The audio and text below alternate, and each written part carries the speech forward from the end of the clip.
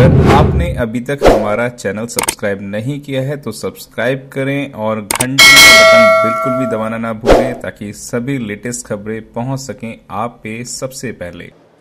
नमस्कार SM news में आप सभी का स्वागत है। मेरा नाम है सरिता कुमार। आज हमारे साथ है एडवोकेट दिनेश कुमार, जो कि बहुजन समाज के बहुत बड़े चिंतक हैं।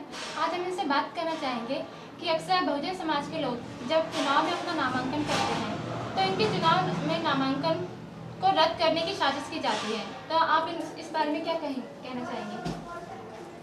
धन्यवाद सत्ता जी, आपने बहुत अच्छा प्रश्न किया कि जितने भी बहुजन प्रत्याशी है, लोकसभा या विधानसभा चुनाव के दौरान, उनका नामांकन रद्द कर दिए जाते हैं। इसके पीछे मुख्य वजह ये है कि जितने भी ब्राह्मणवादी ताकतें हैं, वो नहीं चाहते कि बहुजन समाज के लोग उभर के साम, आए और उनको सीधे तौर पर टक्कर दें। जहाँ जहाँ भी उनको खतरा होता है, कांग्रेस या बीजेपी को, जो वहाँ से उनका प्रत्याशी नहीं निकल सकता या सीधे तौर पर उनको टक्कर दे रहा होता है तो उसका नामांकन रद्द करा के उसको मैदान से हटा देते हैं। जैसे अभी फ़िलहाल का मामला है तेज बहादुर यादव जी का बनारस में, उन्होंने नामांकन अपना दाखिल किया, उसके बाद उनका नामांकन रद्द कर दिया गया। उनको एक लीगल नोटिस दिया गया लोक प्रतिनिधित्व अधिनियम उन्नीस सौ इक्यावन की धारा नौ के अधीन।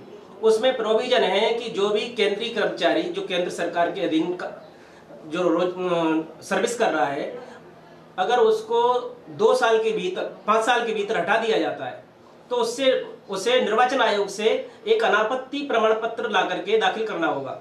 तो ये पाँच साल का जो गैप था उसमें बताया गया कि पाँच साल के अंदर यदि डिसमिस किया गया है, उसे हटाया गया है तो उसे प्रमाण पत्र देने की ज़रूरत है। जो तेज बहादुर यादव जी हैं, उनको 19 अप्रैल 2017 को हटाया गया। वो भी अनुशासनहीनता या कुछ अन्य कारण रहे हो। तो उनको कतई ये प्रमाण पत्र लाने की ज़रूरत नहीं थी। फिर भी उनका नामांकन बीजेपी के इशारे पर निरस्त करा दिया गया।